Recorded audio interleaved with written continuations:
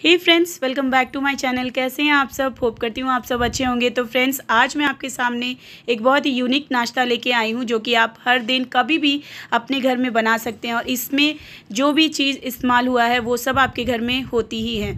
तो चलिए video start करते हैं। तो फ्रेंड्स, यहाँ पे मैंने दो बची हुई रोटियाँ ली है और दो उबले हुए आलू लिए हैं। इसी चीज़ से बस मैं ये नाश्ता बनाने जा रही हूँ। बहुत ही ईजी है। प्लीज़ आप लोग अपने घर में ज़रूर ट्राई करिएगा। तो यहाँ मैंने दो आलूओं को पील ऑफ़ कर लिया है। उसके बाद मैंने इसमें बारीक कटे हुए प्याज डाले हैं। थोड़ा सा लाल मिर्च पाउडर डाला है। थोड़ा सा चाट मसाला डाला है और मेरे पास फ्रोज़न पीस बचे हुए थे तो मैंने वो भी डाल दिया मटर। अगर आपके पास नहीं है तो आप इसे स्किप भी कर सकते हैं। ये टोटली ऑप्शनल है और उसके बाद आप इसमें टोमेटो केचप भी डाल दीजिए, जिससे ये नाश्ता बहुत ही अच्छा बनेगा। तो बच्चों को बहुत पसंद आने वाला है, इसीलिए मैंने इसमें टोमेटो केचप भी डाला है।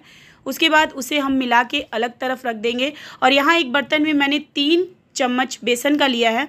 उसमें मैंने नमक डाल दिया है अपने टेस्ट के अकॉर्डिंग फ्रेंड्स नमक आलू में भी है तो इसीलिए यहाँ पे देखकर ही डालिएगा। उसके बाद लाल मिर्च पाउडर डाला है, हल्दी पाउडर डाला है और इसको अच्छे से हम लोग को मिला लेना है। अच्छे से मिलाना है थोड़ा थोड़ा पानी डालकर मिलाइएगा, ज़्यादा पानी एक बार में मत डालिएगा और इस तरीके से इसका गोल तैयार कर लीजिएगा। तो बस इसे भी अब हम साइड में रख लेंगे और रोटी को जो है, उसे हम लोग चार फोर पीसेस में कट कर देंगे। इस तरीके से आपको फोर पीसेस में इसे कट कर देना है। बस अब इसे मैं सीधा कर लूँगी रोटी को और जो पतली परत होती है फ्रेंड्स, उसी के ऊपर हम आलू का मिश्रण को लगाएँगे।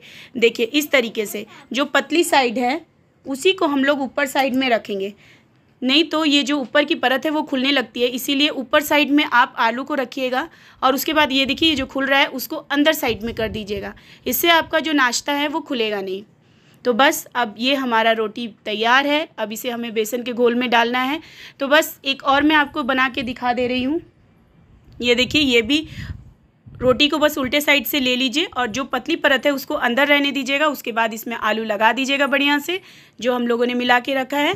उसके बाद दूसरी वाली जो रोटी की, रोटी का पार्ट है, वो भी हम लोग इसके ऊपर इसी तरीके से स्टिक कर देंगे। देखिए जो ऊपर खुल रहा है, उसको अंदर करना है और उसको ऊपर से स्टिक कर देना है। बस हमारा नाश्ता रेडी है फ्रेंड्स।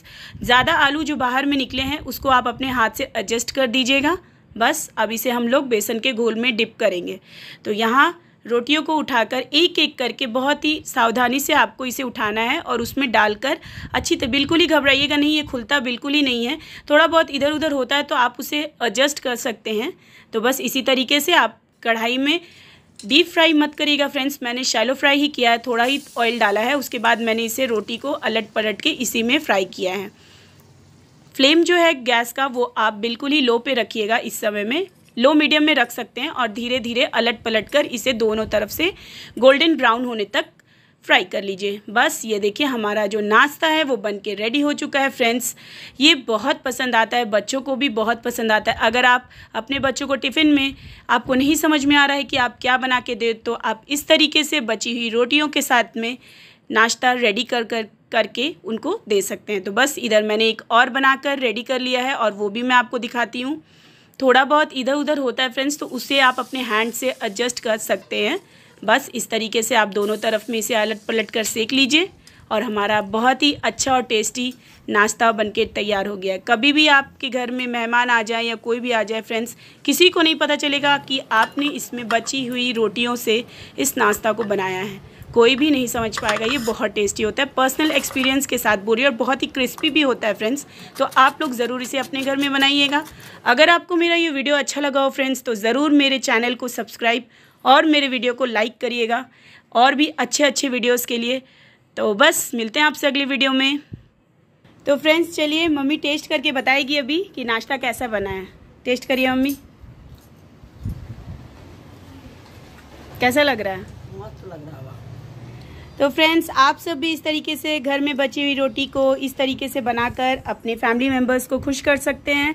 तो आप लोग ज़रूर इस नाश्ते को बनाइएगा। मिलते हैं आपसे अगले वीडियो में। बाय